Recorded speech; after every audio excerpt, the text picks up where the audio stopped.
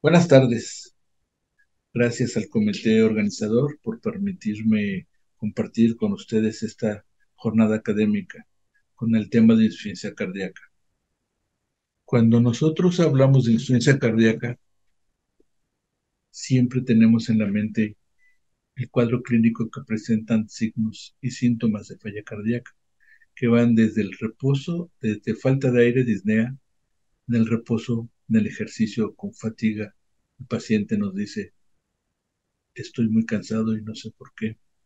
Y nosotros observamos los signos de taquicardia, taquimnea, presencia de estertores y datos de congestión, ya sea manifestados por derrame pleural, elevación de la presión venosa yugular, hepatomegalia o demás periféricos. Tradicionalmente, en insuficiencia cardíaca hablamos de ella como insuficiencia cardíaca aguda y crónica. Pues en este momento vamos a hablar básicamente de la insuficiencia cardíaca crónica. Sin embargo, es muy importante mencionar que la insuficiencia cardíaca aguda tiene una mortalidad al año entre el 25 y el 30% y una muerte o reingreso al hospital de casi la mitad. Y esto constituye la masa principal de lo que en el futuro se convertirá en el número de pacientes que desarrollarán insuficiencia cardíaca y van a transcurrir en ese, eh, en ese camino de la falla cardíaca crónica. En los estudios de prevalencia podemos iniciar con el clásico estudio de Framingham, donde vemos que conforme va avanzando la edad, eh, la presencia de insuficiencia cardíaca va siendo más importante, hasta en los sujetos mayores de 80 años, hasta el 10%. En Europa se calcula que la incidencia es de 5 por cada mil adultos, con una prevalencia del 1.2% de los casos diagnosticados. ¿Qué quiere decir eso? Que como es una enfermedad que permanece durante mucho tiempo asintomática, el 50% de los pacientes que tienen falla cardíaca pueden cursar sin síntomas y eso nos aumentaría la prevalencia. Eh, esta va aumentando como se vio en el estudio Framingham también, desde el 1% en menores de 50 años hasta más del 10% en mayores de 70 años.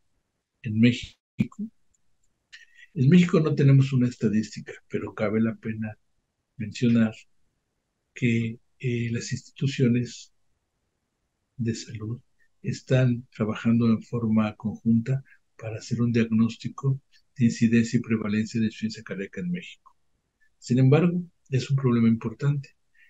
En 2015, en una reunión de científica de, ambas sociedades, se, se, encontró que en México en esa época había 750 mil pacientes que vivían con insuficiencia cardíaca y que esta iba a aumentar aproximadamente a 75 mil pacientes cada año.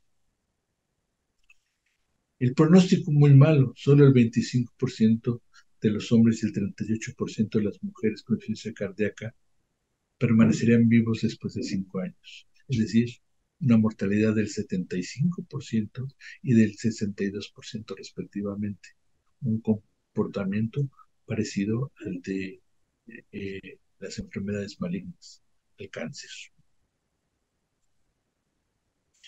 En esta estadística, si bien no es de muerte por insuficiencia cardíaca, pero nos habla que en el 2021, quitando los pacientes de la, que murieron por la epidemia de COVID, la principal causa de muerte fueron las enfermedades del corazón, y de ellas intuimos que la falla cardíaca ocupa el principal eh, punto. En 2020 murieron 113.899 pacientes, 51.000 eh, eh, mujeres y 62.000 y un poco más de hombres. La, insuficiencia cardíaca es una enfermedad que es invisible y progresiva.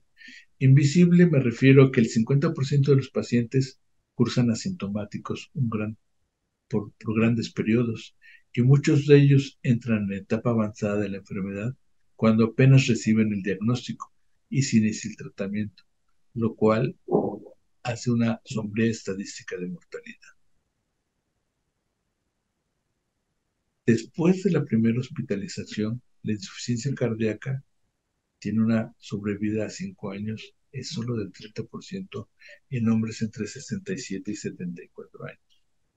Del 20% en pacientes entre 75 y 84 y en mayores de 85 del 15%.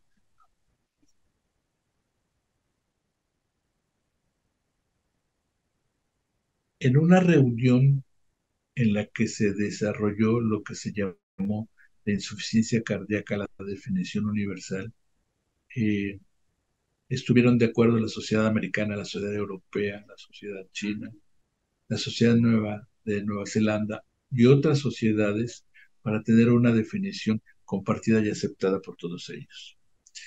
Y se las leo. Es un síndrome clínico caracterizado por signos de congestión debido a una alteración funcional o estructural del corazón, con elevación de BNP o proBNP y o evidencia objetiva de congestión.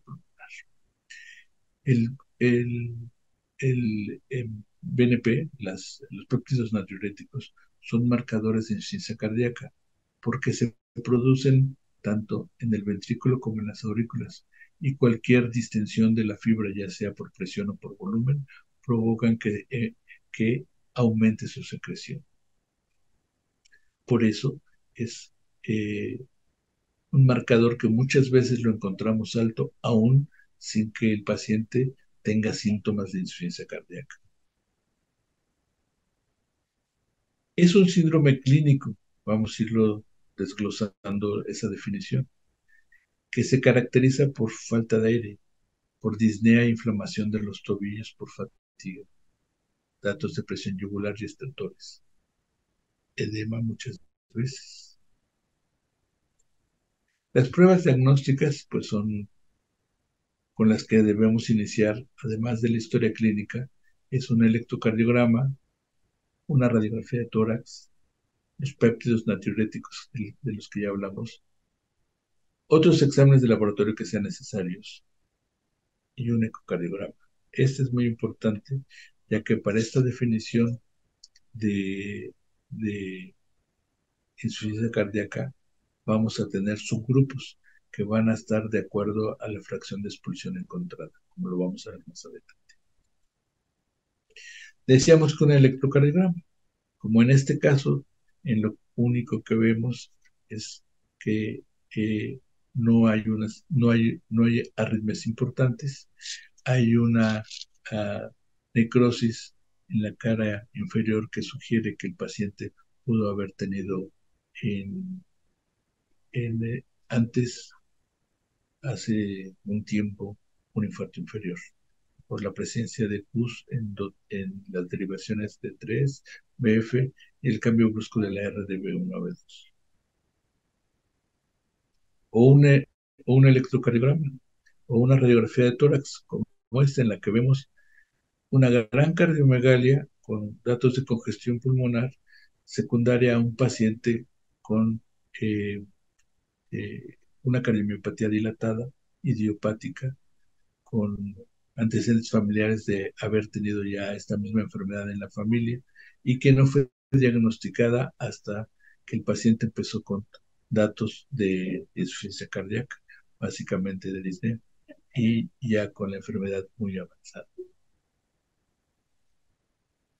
Es una anomalía estructural y funcional, decíamos, con elevación de las presiones cardíacas, que provoca disfunción diastólica o sistólica y un gasto cardíaco inadecuado. En el eco podemos ver cómo el índice de masa del ventrículo izquierdo está aumentada, el índice de volumen de la aurícula izquierda aumentado.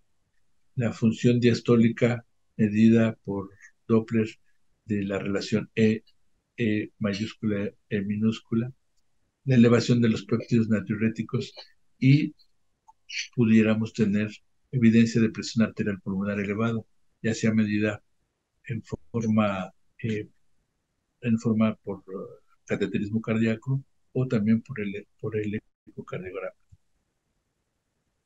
De tal manera que tenemos el, el, eh, algoritmo de tratamiento, en la cual empezamos con la historia clínica, el electrocardiograma, el laboratorio, el péptido natriurético, que si el péptido natriurético, ya sea el ProBNP, la fracción terminal tiene 125 picogramos o el BNP en una elevación de 35 picogramos. Esto nos habla de que el paciente tiene eh, insuficiencia cardíaca.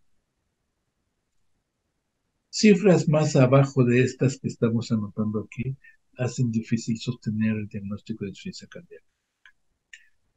Eh, el ecocardiograma transtorácico y otros exámenes si es necesario, si se sospechan patologías añadidas, nos habla de eh, una, nos da una clasificación y nos dice que de acuerdo a la fracción de expulsión tendremos insuficiencia cardíaca reducida, ligeramente reducida o preservada.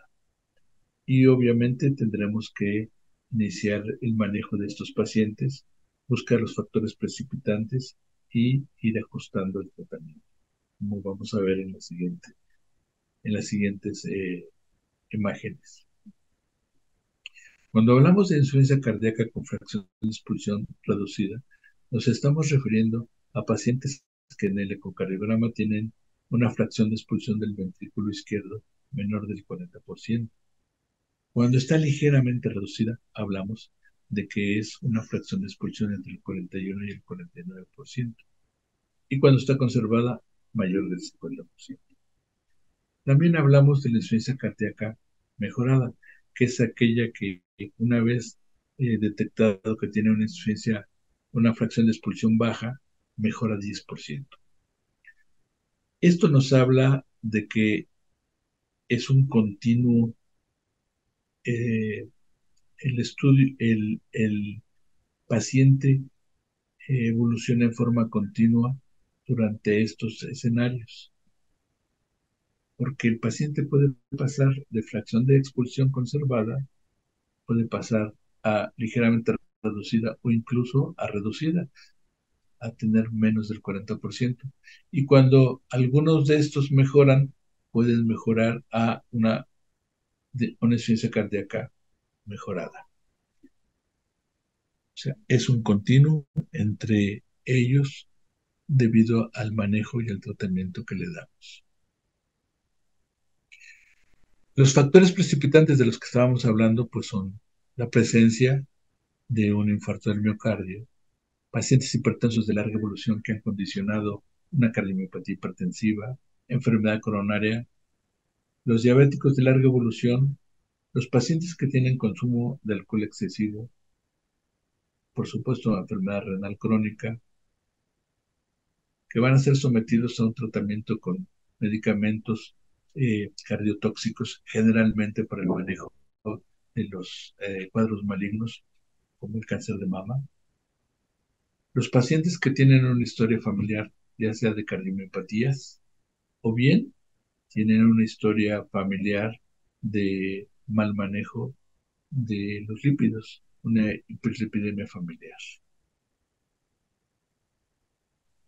Esto nos da eh, pauta para hablar también de la insuficiencia cardíaca que hemos manejado durante muchos años, eh, definida por la eh, Asociación Americana de Cardiología. Y esta divide los riesgos de eficiencia cardíaca en A y B y tiene la importancia de que podemos detectar a los pacientes aún antes de que tengan daño estructural o síntomas de insuficiencia cardíaca.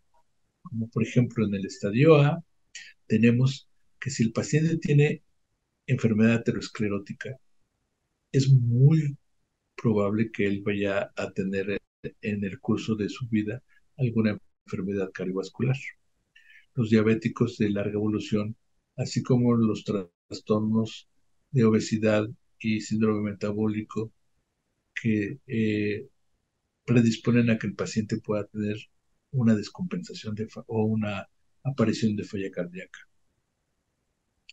Eh, los pacientes que tienen antecedentes heredofamiliares de cardiomiopatía deben de ser pues detectados oportunamente y manejados para que no lleguen a tener enfermedad estructural.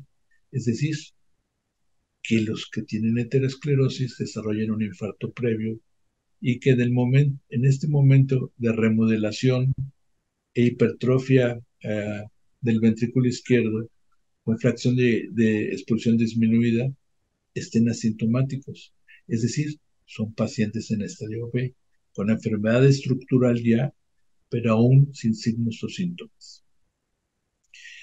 De este punto, los pacientes pasan al estadio B y C, eh, perdón, eh, C y D. Sin embargo, pues aquí lo que tenemos que hacer es la modificación del, del, eh, del estilo de vida, manejo adecuado de los factores de riesgo como son el tabaquismo, manejo adecuado de la presión, el control de los lípidos, eh, manejar el síndrome metabólico e iniciar adecuadamente el tratamiento farmacológico para controlar la presión y la diabetes.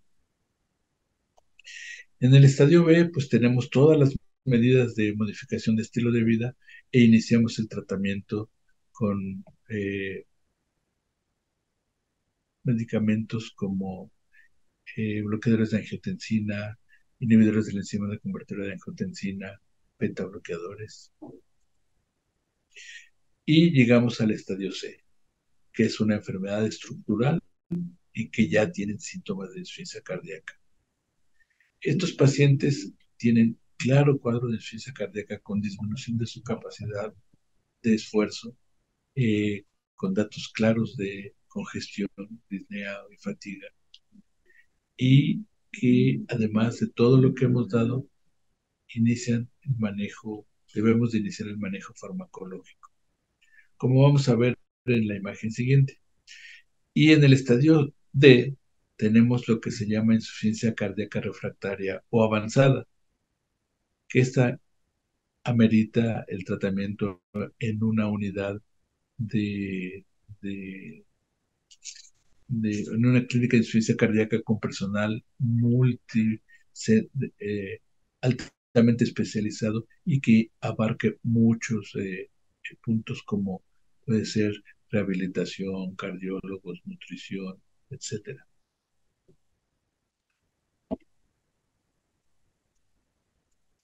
Los objetivos del tratamiento, pues, son como han sido desde toda la vida: reducir la mortalidad, disminuir el número de hospitalizaciones y mejorar la calidad de vida.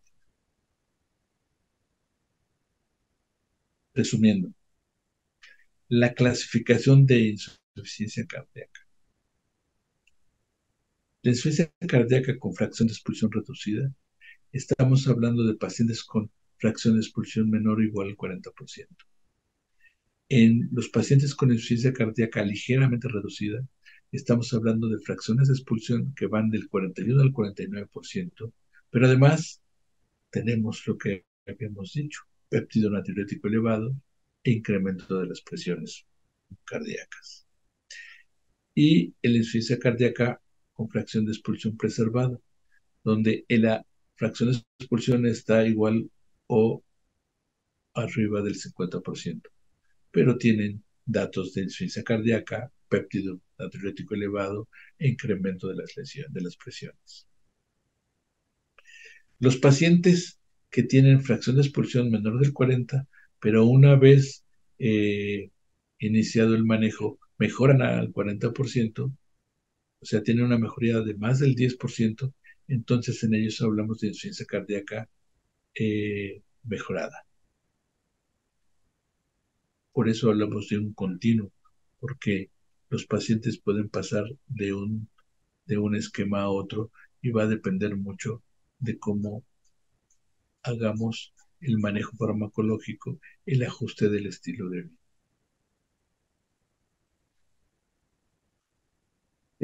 antes de iniciar las medidas farmacológicas y no farmacológicas, perdón, las medidas farmacológicas deben de iniciar y las no farmacológicas antes de tratar de iniciar con la utilización de, dispositivos.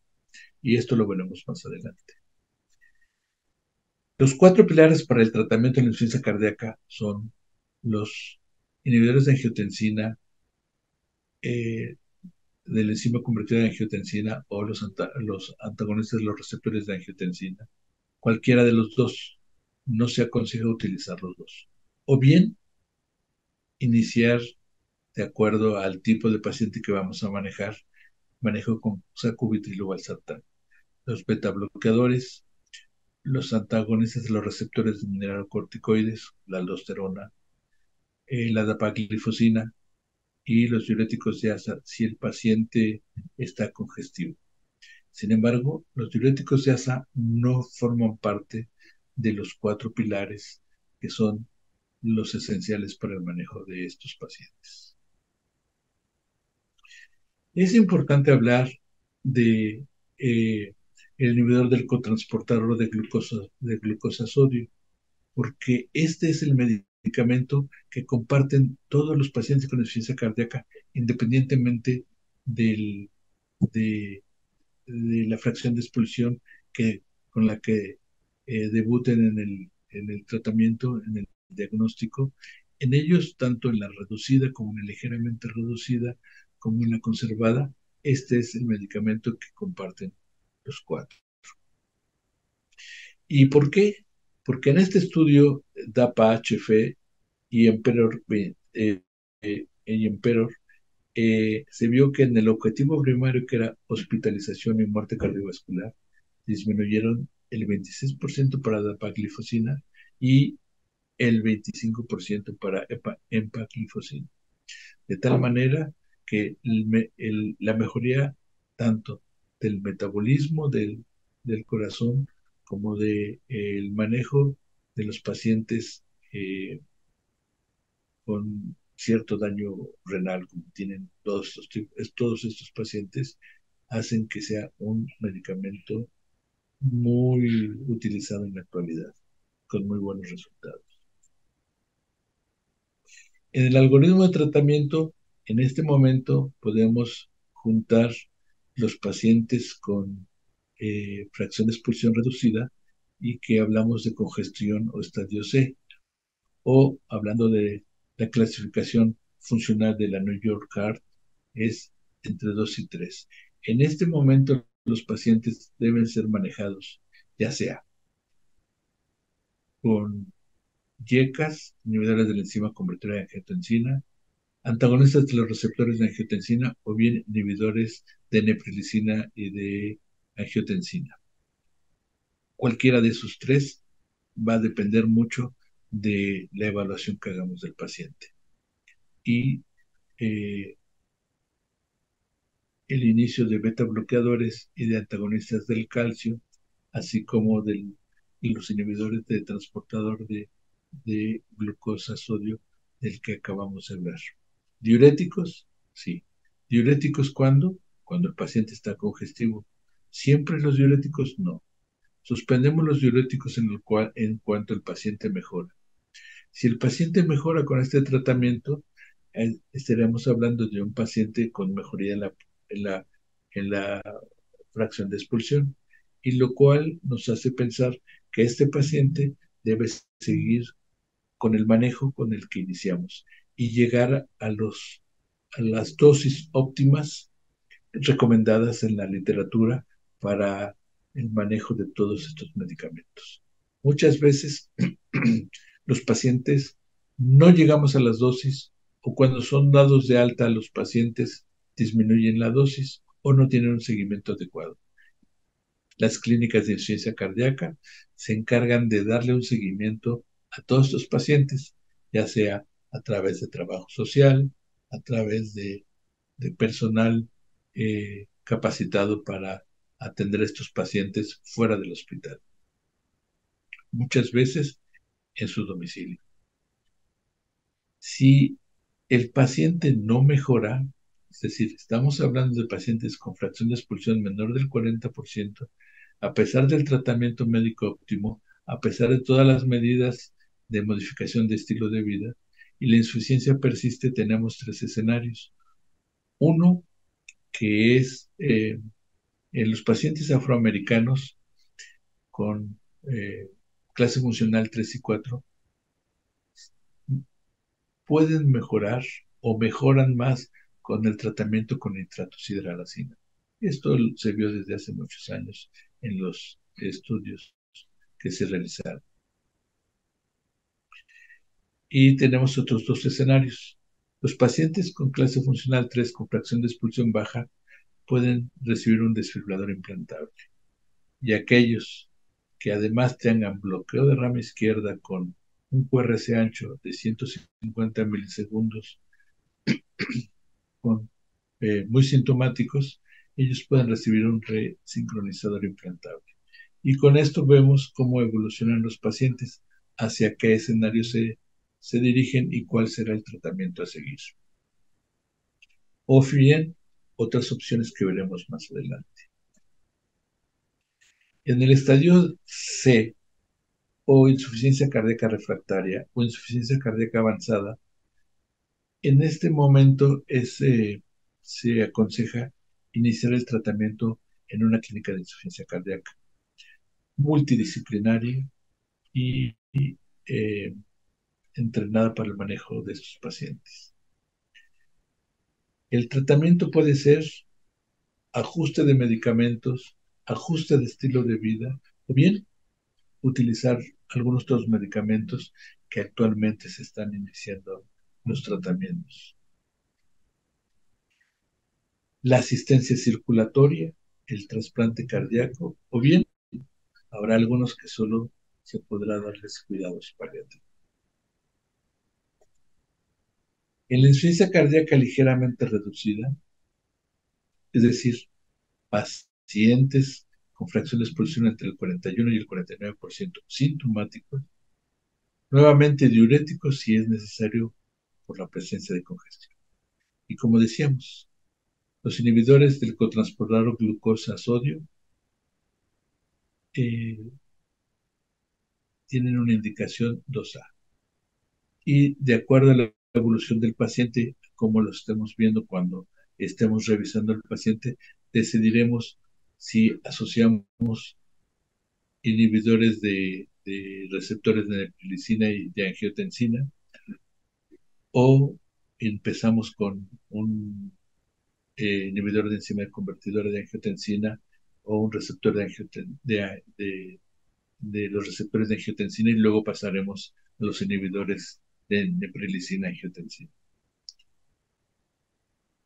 Cuando iniciamos eh, los antagonistas de mineralocorticoides como la, la espironolactona o, como, o, o, o hasta cuándo la iniciaremos. Igual nos sucede con el manejo de los betabloqueadores.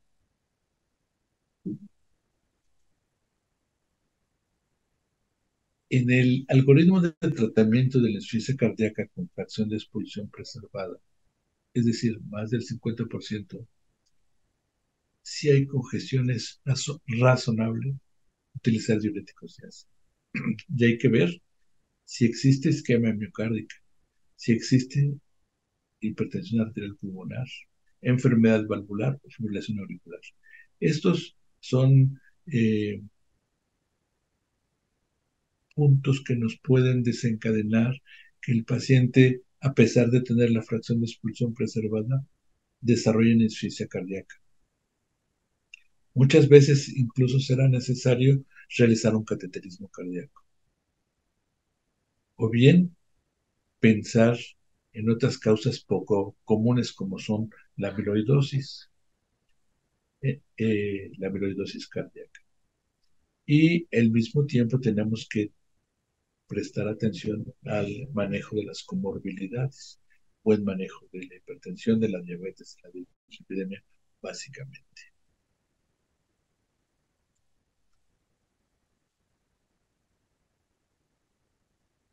En los pacientes con la fracción de expulsión mayor del 50%, nuevamente, diurético si es necesario por la presencia de congestión y utilizaremos inhibidores del cotransportador, cotransportador glucosa-sodio.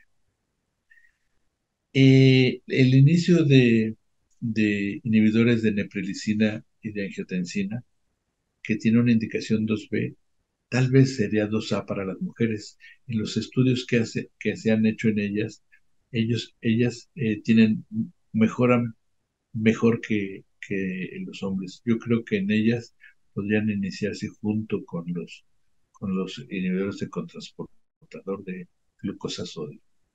Y, y tal vez, solo tal vez, iniciar mineralocorticoides, inhibidores de mineralocorticoides como, como eh, y, y, bloqueadores de angiotensina, también con una indicación 2B. Cuando nos enfrentamos a una insuficiencia cardíaca avanzada, en la cual, a pesar de optimizar el tratamiento eh, médico, el tratamiento farmacológico, eh, modificar los factores de riesgo, modificar el entorno del paciente, el paciente permanece con síntomas severos en clase 3 y 4, con eh, fracciones de expulsión menores de 30, con insuficiencia cardíaca derecha, lesión valvular, o enfermedad congénita no operable. Muchos de ellos permanecen en el hospital dependientes de inotrópicos o de vasopresores y no es posible destetarlos de ellos. Otros pacientes que tienen fracciones de expulsión incluso mayor de 40, pero tienen una gran disfunción diastólica con péptidos muy elevados y con pobre o poca respuesta al tratamiento eh, farmacológico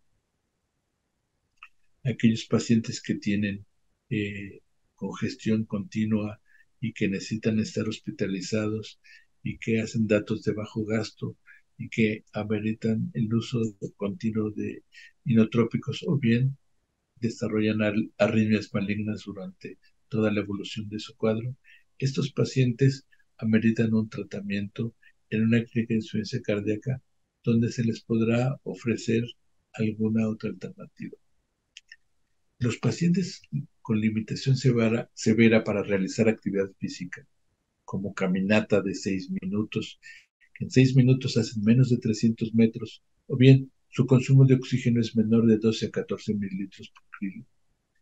Ellos hablamos de insuficiencia cardíaca avanzada. Y si, y si además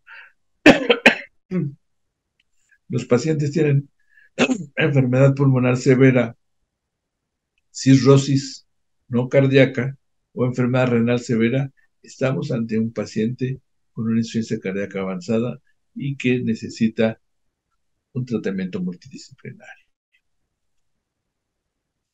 Los factores que precipitan la insuficiencia cardíaca son la anemia, las infecciones, por supuesto, la fibrilación auricular u otras arritmias son una entidad que es que debemos de tener mucha atención porque es muy común que los pacientes tengan una fibrilación auricular eh, permanente que muchas veces es difícil de controlar. Obviamente que tenemos que tener en cuenta que el paciente anémico puede precipitar una falla cardíaca, así como aquellos pacientes que tienen enfermedad tiroidea. Tenemos que revisar con las, en la clínica de insuficiencia cardíaca que el paciente no sea un transgresor, que haga la dieta y que eh, no tenga falta de adherencia al tratamiento, que también puede suceder, y que no consuma medicamentos con efectos no deseados, como vamos a ver adelante, o que tengan otras enfermedades cardíacas. Estos son los medicamentos que debemos evitar que los pacientes consuman, como son los AINES, eh, que inhiben prostaglandinas y provocan aumento de la retención de sodio de agua, vasoconstricción y que la respuesta al diurético sea pobre. Las glitazonas, la sexagliptina que últimamente se ha prescrito mucho y que tiene eh, puede precipitar en forma muy importante un cuadro de insuficiencia cardíaca por un mecanismo desconocido. La flecainide, que sabemos de hace mucho tiempo que tiene un efecto inotrópico negativo y proarrítmico y que tiene un efecto inmediato e intermedio, igual que la disopiramida. El sotalol también puede tener un efecto inmediato en el eh, cuadro para desencadenar un, cuadro de insuficiencia cardíaca. Dronedarone, que muchos eh, de los cardiólogos usamos para el manejo de los pacientes con arritmia crónica. Tener en cuenta que es un paciente que tiene un efecto inotrópico negativo. Los antagonistas del calcio, como ya sabemos, diltiazem, verapamilina y filipina, tienen un efecto inotrópico negativo, algunos más marcados que otros. Finalmente, los pacientes en estadio de insuficiencia cardíaca avanzada o refractaria, algunos podrán ser seleccionados para llevarlos a un trasplante cardíaco. Actualmente, la sobrevida en el mundo tiene 12 años. 12 años sobrevive eh, eh, un paciente con trasplante de corazón. Si ese mismo paciente en estadio D no se le ofrece ninguna otra alternativa, el tratamiento médico óptimo tiene una sobrevida apenas de dos años. Y con los eh, aparatos de asistencia mecánica de la circulación puede tener una sobrevida de 3 a 4 años. Como ven, las indicaciones para trasplante cardíaco eh, eh, son las siguientes. El dato de falla cardíaca o choque cardiogénico refractario de tratamiento, o que el paciente tenga la necesidad de estar en soporte mecánico o que el paciente esté limitado en su actividad y que no se le pueda ofrecer revascularización o alguna otra cirugía que le pueda modificar su cuadro clínico. Las arritmias refractarias a tratamiento y las cardiopatías en fase terminal eh, sin otra posibilidad de tratamiento, que tengan menores de 55 años, que tengan estabilidad psicológica, eh, evaluado por psiquiatría, que tengan eh, una red familiar adecuada, que el estudio de trabajo social en su domicilio sea apto para que el paciente pudiera recibir un trasplante. Si el paciente tiene estos criterios de exclusión, pues automáticamente eh, no es llevado a un trasplante. Por ejemplo, neoplasias malignas con posibilidad de recidiva, eh, obstructiva crónica severa, eh, una infección activa no controlada, los pacientes que tengan eh, daño renal, una creatinina mayor de 3 miligramos, que tengan una pobre función renal, pueden ser considerados siempre y cuando se piense en la posibilidad de hacer un trasplante cardíaco y renal simultáneamente. Pacientes con sangrado activo, pacientes con alteraciones eh, hematológicas muy severas o pacientes que no pudieran, que por motivos psiquiátricos se rechazan, ya sea alcoholismo, abuso de drogas, coeficiente intelectual o que no tengan una red de apoyo familiar. De tal manera que hay un sinfín de pacientes que no cumplen los criterios para recibir un trasplante de corazón. Y en ellos se les puede ofrecer la colocación de un equipo de asistencia mecánica de la circulación prolongada, que tiene una indicación 1A. Y aquellos pacientes con insuficiencia con fracciones de expulsión bajas y en clase eh, y persisten en clase 4 después de completar el tratamiento y que no es posible incluso que abandonen el hospital, se les puede poner una asistencia mecánica de la circulación prolongada. Y esto ha sido estudiado y referido por Intermax, que es, una, es el registro internacional de, equipos de asistencia mecánica de la circulación.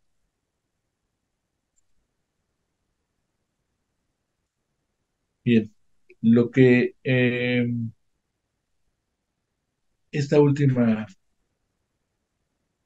imagen con la cual termino la plática es porque en la actualidad el manejo de los pacientes con insuficiencia cardíaca crónica es multidisciplinario, que incluye no solo médicos y enfermeras, personal de laboratorio, trabajo social, maestros, psicólogos, etc., nutriólogos, rehabilitadores. Gracias. Solamente concluir con que la insuficiencia cardíaca es una enfermedad grave, crónica y mortal, para la cual no hay cura. Y que si queremos realmente tener una incidencia sobre ella, tenemos que iniciar ya, desde hace mucho debemos haber iniciado, el manejo de los factores de riesgo coronario que impiden que el paciente tenga deterioro cardíaco y llegue a las instancias de insuficiencia cardíaca. Gracias.